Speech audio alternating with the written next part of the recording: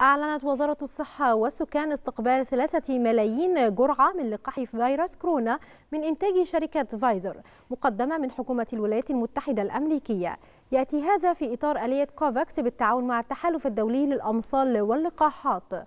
وأوضحت الوزارة في بيان لها أن شحنة اللقاحات ستخضع للتحاليل والفحوصات اللازمة في معامل هيئة الدواء للتأكد من أمانها وفعاليتها قبل توزيعها على مراكز التطعيمات المنتشرة على مستوى محافظات الجمهورية.